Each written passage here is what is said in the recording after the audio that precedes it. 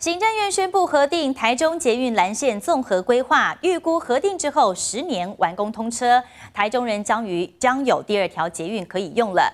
历经三十三年规划，三任市长在去年四月份送到行政院，一躺就是九个月，也成为这一次选战攻防的焦点。而这次选举，卢秀燕领军台中蓝营立委赢得漂亮。原本新科立委预计要开记者会为台中捷运蓝线来发声的，没有想到突然就接到核定通过的消息。台中捷运蓝线通过了。这次的大选当中，那大家传达了强烈广大的民意，那所以呢，促成了我们的捷运蓝线可以核定。行政院核定台中捷运蓝线综合规划，回头看终结蓝线进度，一百一十一年综合规划报告书完成，提报中央审议，一百一十一年通过环评署审查，一百一十二年四月送行政院一堂。九个月，我们的立委在哪里？